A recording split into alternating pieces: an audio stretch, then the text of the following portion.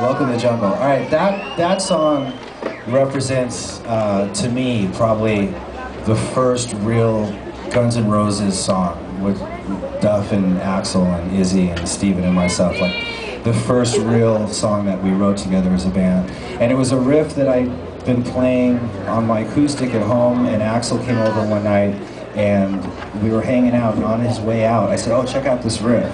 And I remember it distinctly. I was on my knees in front of my couch, and he was on my left, and he was about to walk out the door. And that was it. And then we went into uh, Nikki Beat's studio in Silver Lake. We just started really rehearsing.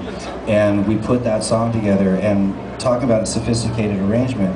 That was the product of the five of us taking an idea and making it our own. You know, Duff had his input. You can almost hear um, where everybody's input is. You know, it's like, um, and Axl was sitting there writing everything, writing lyrics down on, on a piece of paper, and that was, and it came out in one afternoon.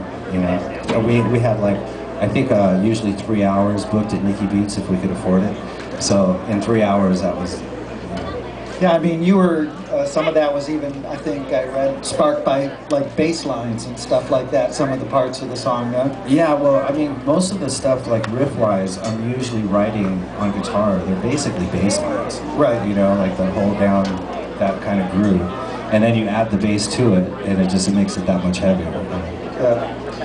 Uh, when I introduced you, I mentioned earlier that uh, uh, basically it's a requirement if you're a rock guitar player to learn how to play the opening riff to Sweet Child of Mine. It's just one of those rites of passage, you know. So I definitely have to ask you about the origin of that riff. Okay. And I'd like to know how you put together that solo, which is really one of the greatest solos in the history of rock.